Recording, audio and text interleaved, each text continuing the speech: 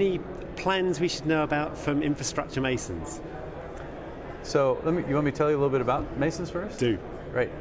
Um, so, Infrastructure Masons is a uh, group of professionals. So, we are a professional organization, an association, and it's really about the people in this industry. And it is partners, end users, suppliers, everybody that makes the digital economy work. So, think of it from the virtual machine or the container down.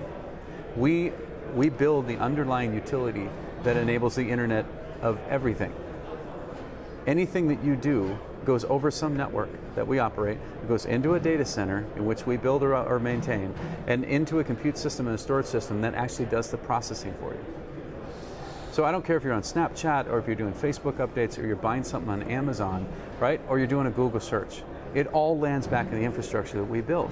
And the insatiable appetite that people have for what we need every day, the impatience of I need to get my, my order, I need to look at things, I need to update my friends. That's not going away.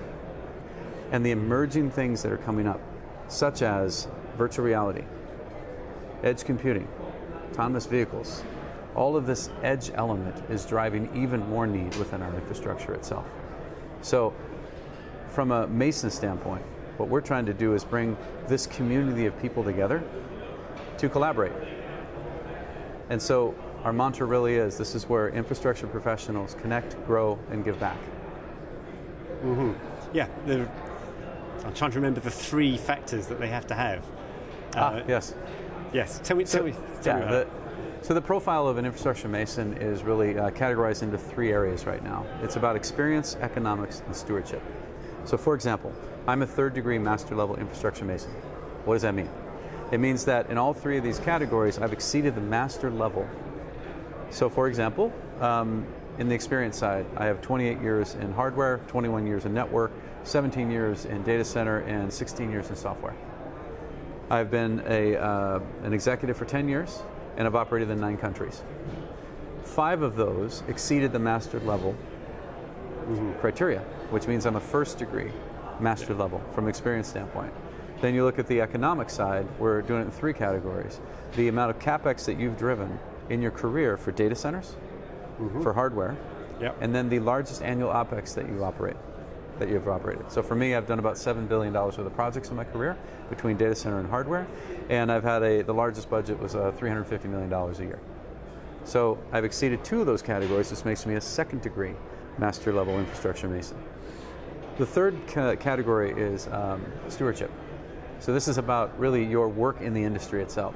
So how many industry groups have you participated in? How many leadership sessions or leadership positions have you had? The um, amount of patents you've filed, the papers you've written, to legislations that you've helped drive, those uh, all add up into the third degree. So I've exceeded those in a number of different areas as well. So what we've done is now looked at all of our members. We had them complete this membership profile to understand where their expertise is, to understand where their experience is. And the reason for that is for us to be able to now start pairing people because the connect aspect of this, it would be great to sit at the table of mm-hmm. like like experienced people who have gone through the same things you have to be able to now just collaborate and connect right mm-hmm. it, that's really nice but at the same time we can now connect people that may not necessarily would connect normally mm-hmm.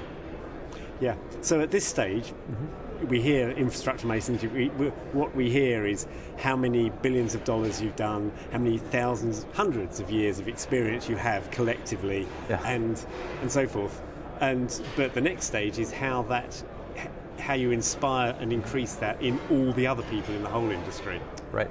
So one of the things that we're focusing on in infrastructure masons is uh, once you understand the profile of a person, you can now start to expose them to things that would expand their capabilities.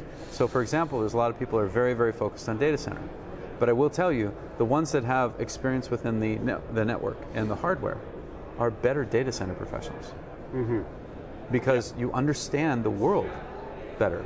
Instead of I'm, I'm narrowly focused on power and cooling and all the aspects around how this packaging and the facilities are working. But if you understand that, guess what? There's going to be machine learning coming into this space. What does that mean? That means that you have to have GPU based machines that are going to have a lot higher density racks, which might require liquid cooling, that now are going to optimize, have to be optimized within your facility design. But if you understand that, you're getting that exposure, you will make better decisions in the data center. Same thing from the network standpoint. Where are you going to locate data centers? Where's the fiber?